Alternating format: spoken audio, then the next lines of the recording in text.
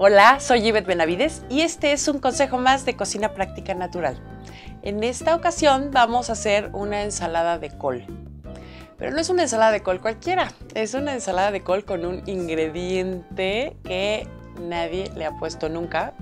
Eh, le va a dar un sabor muy especial y bueno, nos, es una forma de, de hacer más atractivas las cosas nutritivas. Tenemos la, la costumbre de pensar que lo, que lo nutritivo es aburrido, sabe feo y bueno, lo como porque lo tengo que comer, y, pero no.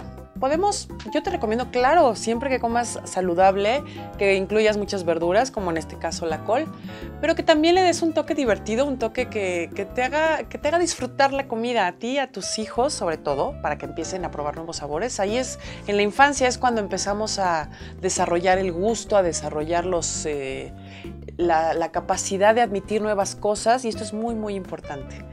Bueno, pues eh, esta ensalada es, eh, necesitamos media col. Para que no desperdicies, bueno, si estamos en la onda de la nutrición y de lo saludable, también tenemos que pensar en lo saludable para nuestro planeta. Entonces no desperdicies. Eh, la mitad de la col te recomiendo que hagas una sopa de col. Tenemos una receta buenísima aquí en Comunitecnia. Búscala y puedes hacer esa un día y la ensalada de col otro día. Tenemos esta mitad de col, eh, que por supuesto la col va a estar lavada y desinfectada. Y la vamos a partir en julianas muy pequeñas.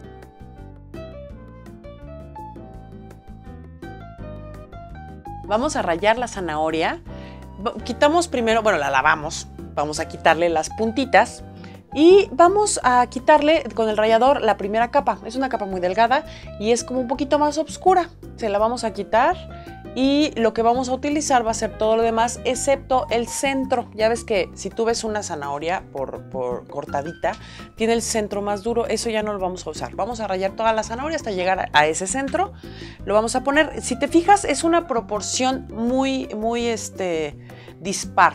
Es mucha col y poquita zanahoria. Así es esta receta, no te preocupes. Entonces ya que tenemos las dos cosas, vamos a agregar una, una cucharada de mostaza. La mostaza da muy, muy, muy buen sabor. No tiene tanta grasa como, lo como sería una mayonesa. Pero bueno, finalmente vas a irle probando. Si necesitas más, le ponemos más.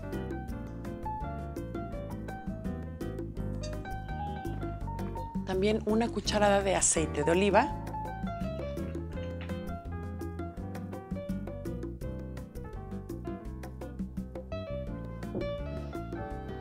Agregamos la zanahoria, la que ya tenemos rallada.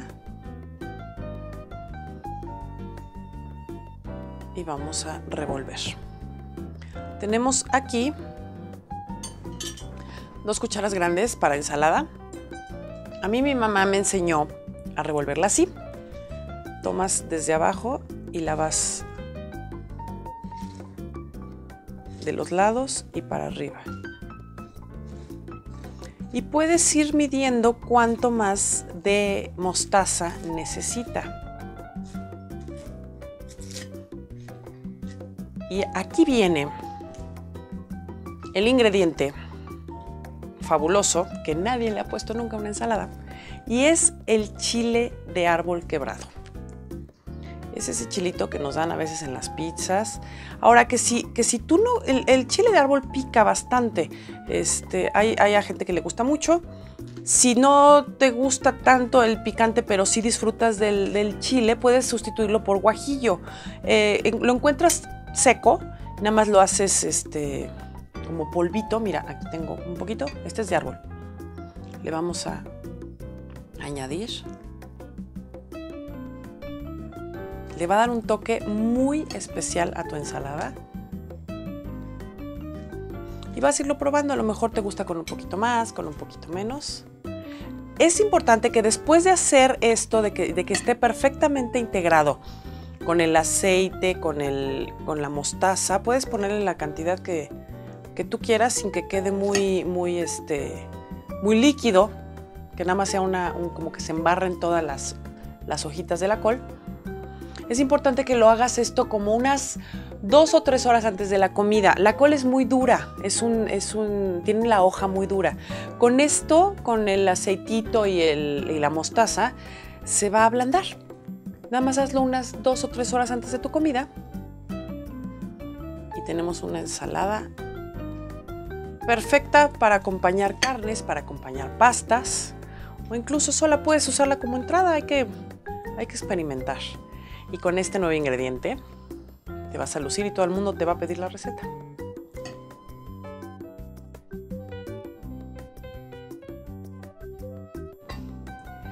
Soy Yvette Benavides y recuerda que somos lo que comemos.